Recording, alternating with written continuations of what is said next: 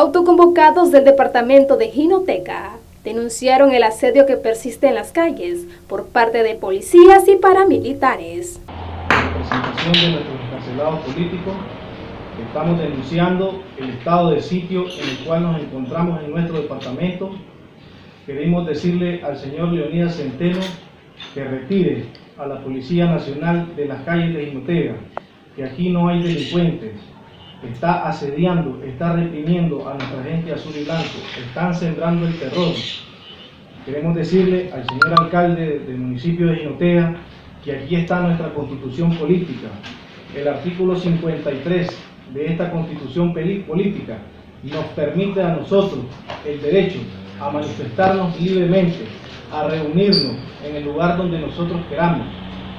Necesitamos que nuestros derechos se cumplan se respete a cabalidad. Es lo que la ley nos confiere. Asimismo, condenaron las detenciones ilegales que se han realizado en este departamento.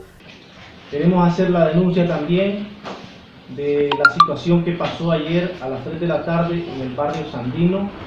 El barrio Sandino está total y completamente inundado de policías. Capturaron a seis de nuestros hermanos el día de ayer por el simple hecho de participar o ir a participar a una misa en honor a nuestros hermanos caídos eh, cerca de mi casa, ¿verdad? Estuvieron 12 efectivos de la Policía Nacional, no sé con qué, con qué objetivo. Queremos decirle al señor Leonidas Centeno que nosotros no tenemos miedo, que nosotros tenemos derecho, porque la ley lo confiere, tenemos derecho a manifestarnos, a salir libremente a la calle, a reunirnos donde nosotros queramos.